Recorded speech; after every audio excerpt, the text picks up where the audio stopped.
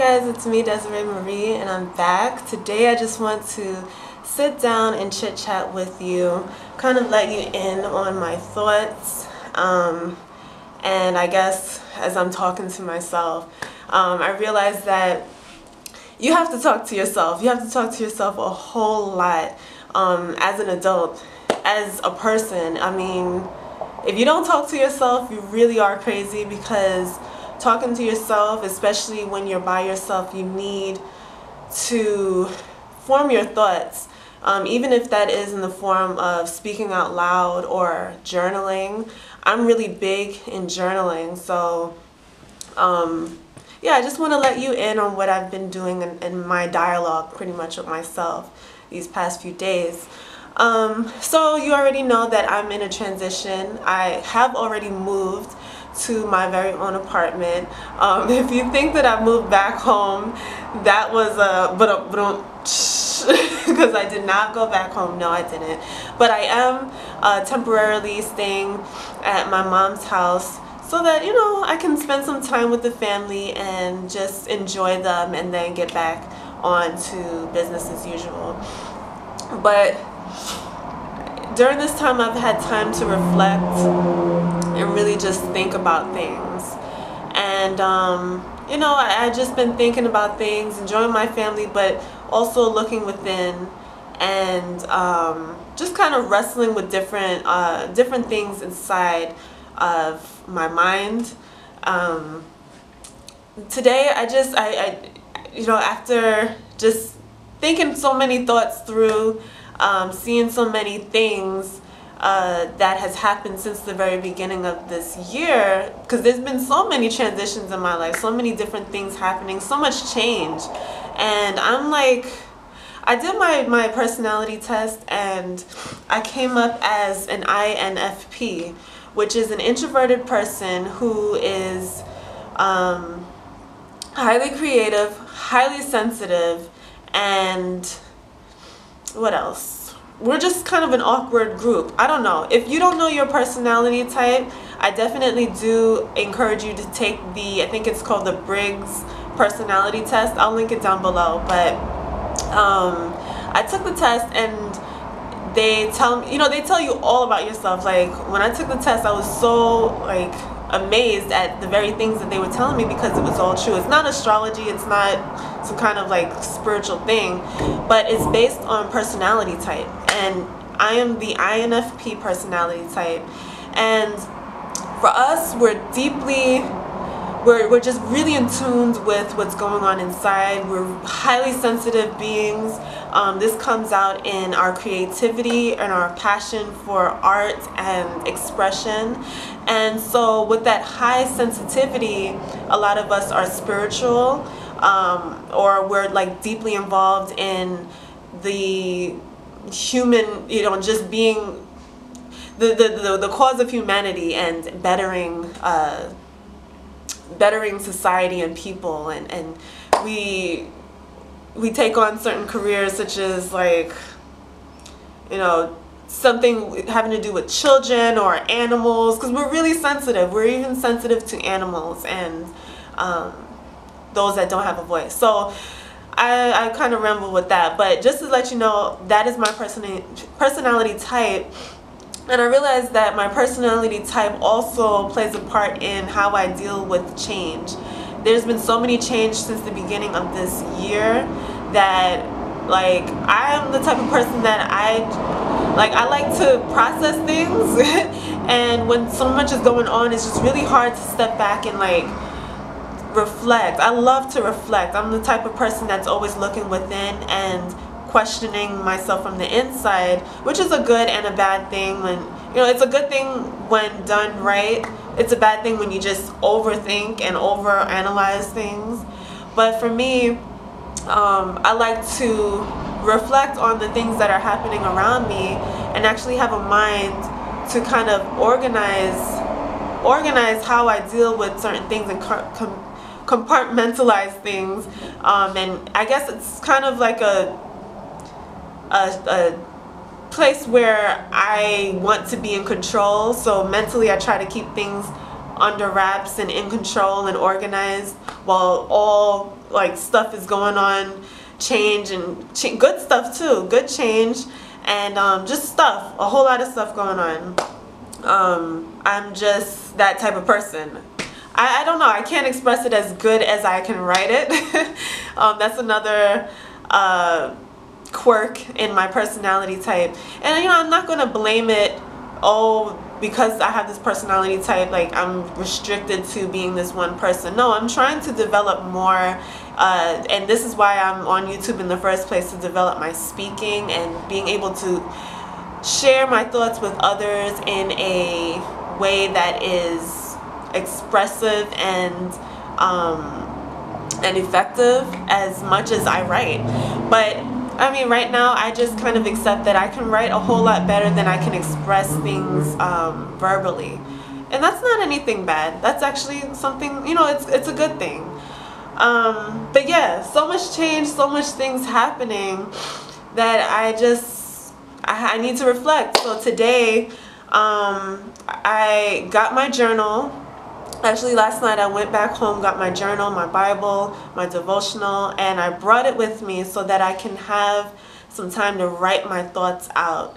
Um, writing your thoughts out is so powerful because for me, it allows me to actually see my mind on paper and realize, okay, it's not so bad. You know, it's not as bad when you see it out on paper than when it's still in your brain and you have no outlet, no source to actually release. Um, you need a sense of, you need release, um, you know, whether it be speaking to your friends, your family, or a counselor, like someone that you can talk to, someone, because we weren't built to just be isolated. We were built to to fellowship and communicate and um, when you have thoughts rolling around in your mind that you're wrestling with, it's great to pull out a sheet of paper and just start writing and, and not even have like a certain format for writing for your writing or proofread or feel the need to edit or quality control your writing, but just write. Just write every random thought that comes in your mind. And then when you reread it, you realize, wow, okay, I understand myself a little bit better. I understand where I could um, could possibly improve and what solution could come out of this or even how to pray about my situation based on what I'm writing here. So um, yeah, I think that writing is a very great tool. For me, I write. I write a whole lot. I even have a blog online. If you have not checked it out, it is DesireeInspires.com. I write a lot about the things that I go through and how God helps me. Um, you know, I, I just talk about it here, like just a snippet of what I deal with, but everything else is on the blog. So if you want to read more and get to know me a lot more, the blog is up and it's, it's a great tool um, even for encouragement. So if you need encouragement, go check out the blog. So um, this morning, right, this morning I sat down and I was just thinking of, you know, just thinking about a lot of stuff. Um, I do a lot of my reflections and thinking in the morning, and I talk to God, like you you guys already know. I sit down and I read my Bible and I think and I pray and I, I just sort my thoughts out for the day. And I realized that in this season that I'm in, where so many great things are happening, um, it feels bittersweet because there's so many great things happening, but so many things that kind of cause me a little like uneasiness in a sense. Um, as I'm growing, it's like it's a painful growth. Um, without letting you know, without talking too much, it's like a painful growth.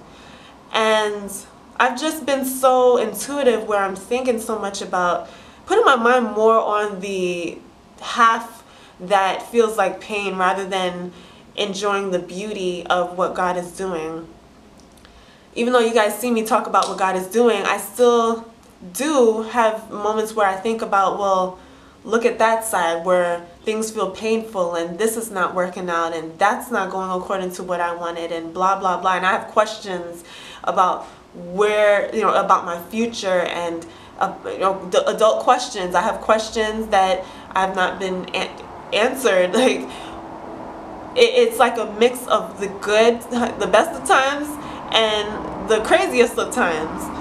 So, um, I've just kind of been weighed down about that side of my life that things are not going according to what I planned or what I would like for my life. That just been kind of like in a place of kind of like, you know, like emotionally like, mm, don't know whether to enjoy or what.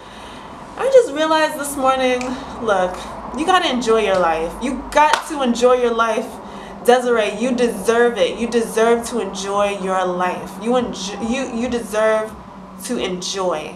Enjoy. Enjoy. And that was just that was just the word that came to me. Enjoy. Enjoy. Sure there are things that could be better. Sure, you know, you you you you feel kind of uneasy with transition and so many changes take the time to enjoy. Take the time to enjoy the beauty and the growth of the moment. And enjoy yourself. You're 29 years old. You got your life ahead of you. Enjoy yourself. Enjoy yourself. Enjoy your life. Be happy. Be happy. Have the joy of the Lord, which is your strength. Trust and believe that God has great greater things, greater things than what you may be dealing with right now. Greater things on the other side. And he even says in his word, those that trust in the Lord will never be put to shame. So as long as you're trusting God, there's no way you can be put to shame. There's no way that God will leave you out there looking crazy. God is always going to cover those who he loves and those that he has invested so much in. He's always going to make sure that you're good, you know? So I just I, I've been looking around and seeing a lot of my friends too like they're in a season of transition as well where they're stepping into the unknown or, or something different that they've never done before. And it is a scary place because it's a place where you you don't feel exactly you don't feel exactly like secure and you've got questions and it feels like God is silent, you know, and he's not speaking and he's not talking, but you're in this unsure place where it's rocky and you don't know what it's going to be like ahead of you. You don't know the next steps, but you're you're walking by faith and it's like it feels like your world all that you've known to be secure and um and and and sure is like it, you, you you now have to readjust your life to a new normal kind of adjusting to a new normal and embracing a new normal where it's faith and questions I have questions for days for God you know I have many questions but he's not exactly answering them. And I just have to remember the story where the disciples, in the Bible, where the disciples were on the boat and Jesus was asleep and he wasn't saying anything and the storms were raging around them on the boat. And I could imagine, I would be freaked out. I would be freaked out. And um, they, they woke up Jesus. They're like, Jesus, don't you care that we're about to perish? We're out here on this boat. The storms are raging. Don't you care? Why are you asleep? Why are you asleep, Jesus? Don't you see things happening all around you? Are you that much of a deep sleeper that you're not alert to what's going on around you? And Jesus woke up and rebuked the winds and said, Peace be still. Uh, did he say that? but he rebuked the winds and then he got on them and said, You have little faith. Um, you know, and it's like, God is with you. You know, it, it, and I have to remind myself that even when I don't exactly hear him or sense him, you know, I like to sense things a little bit. I don't exactly sense his spirit sometimes, um, especially in this place of transition where I'm kind of like walking on faith as an adult, walking on faith, doing things that I've never done before. And I kind of do like the security in knowing that okay, God is like, all right, girl, you got you, I got you. You do this, you do that. I'm so used to um, my mom telling me, okay, do this, do this, do that. But now I'm an adult and I'm walking on faith, and I don't hear exact. I don't exactly hear the instructions on what to do, A, B, C, all the way to Z. So I have to lean on God and when I'm leaning on God, while I'm leaning on God, I don't exactly hear His voice. I don't exactly hear the answers of the questions that I have. God, what is what is what is going to you know what steps should I take towards this? What will it look like 5 years from now? God, don't you care how I feel in this moment and blah blah blah and he's like, I'm here with you in this boat. I'm not saying anything, but I'm here. And just the assurance of knowing that I'm here, that should be enough for you. Just know I'm here. I, I know all that you're dealing with. And you don't hear me right now, but I see you. And I'm praying for you, yet praying for you, making intercession for your on your behalf to God in heaven. And I hear you. I know that you're there. I know that you're you've got these questions. I know that you're unsure of yourself right now. I know how I wired you. I know that you're a highly sensitive being and you want to know different things that's going on in your life and you're kind of scared of change and you, you're dealing with a lot of change. I know, but I'm here. so with that assurance and knowing that God is here, it's kind of a waste of time to not enjoy your life. Even in the Bible, it says, how many of you can add a single moment to your life by worrying? You're worrying about your life. You're worrying about the questions that have not been answered. You're worrying about when you're going to get married, when you're going to have children, when you're going to reach the high point in your life where you feel secure in every area of your life. You're waiting for that right moment.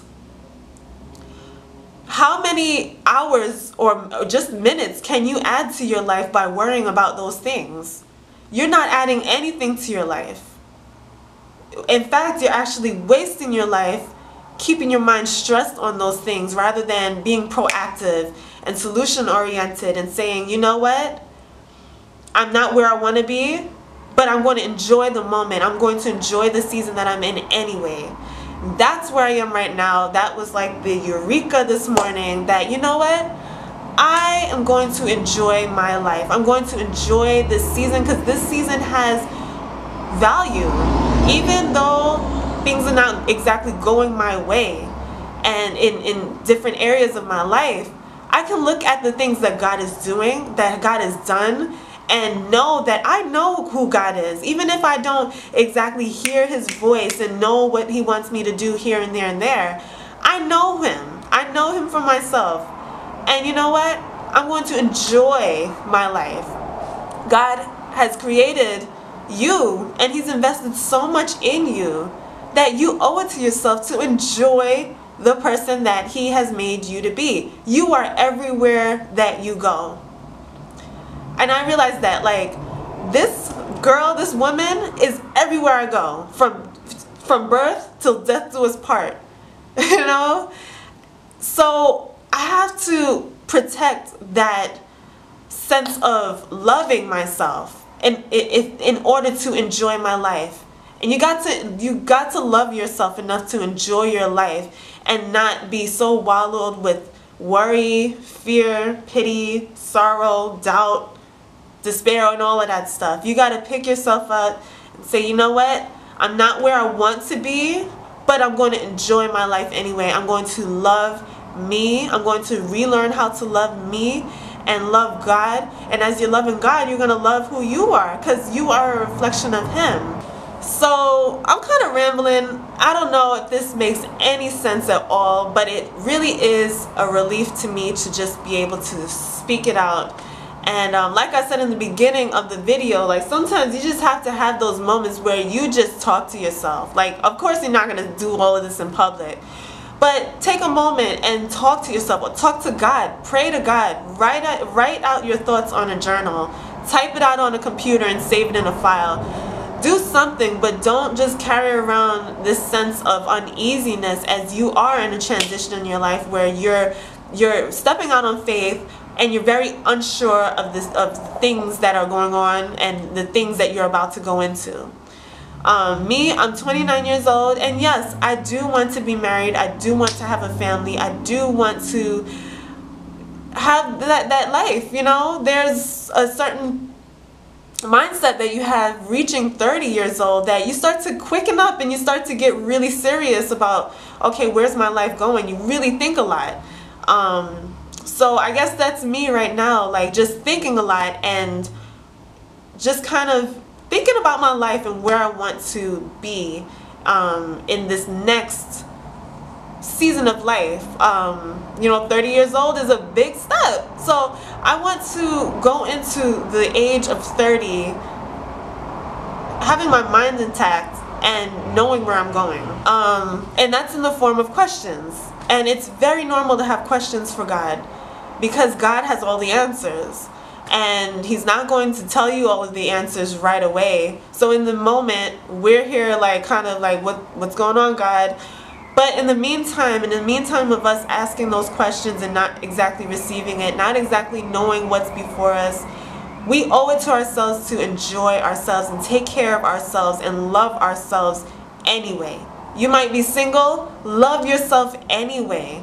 You might not have children right now, love your season anyway. It's something that I'm learning right now. I have not perfected it, but this is kind of like an encourage yourself session right now, and I'm hoping that it encourages you as well. I can go on and on and on about this subject right now, but I think I'm going to end the video here. So thank you for watching my rambling session, kind of talking to myself and talking to you and all of that stuff. I hope that you were encouraged. I hope that you enjoy your life and you take the energy of the moment that you could be using to worry and fear and doubt yourself. Take all of that energy and love yourself and pursue the passions that you have and make your life count. Don't waste your life. Don't waste your life another moment in a place where you're only dwelling on the negative rather than embracing the positive. The fact that you've got another day, that God blessed you with another day to live, you know, to live. He died for you to live an abundant life. Why are we wasting our lives in, in with, with, with areas in our life that really we should not be wasting our life fearing and, and, and doubting ourselves and stagnated? Look, let's just throw all of that out of the out of the window and enjoy ourselves, enjoy our lives, and make it count for something in every season of life, whether you're sure or unsure, whether you are a millennial like me, young adult, still trying to figure out her life. Love yourself. So yeah guys, thanks for watching. I'm going to edit this right now and put it up. Hopefully it encourages you in your faith um, and that you are encouraged and inspired. And if you have any things that you would like for me to talk about, any topics that you'd like for me to talk about, let me know because I would love to create a video just for you, answering your questions. Could be about anything. And anything, anything, anything. Um, I just, I just love these sessions where I just sit down and talk to you. So, yes, guys. Anyway, I've been trying to end this video for the past what two, two, two minutes um, I'm going to, yeah, end the video right now. Hopefully you've been encouraged. Thank you for watching and I'll see you in the next one. Bye.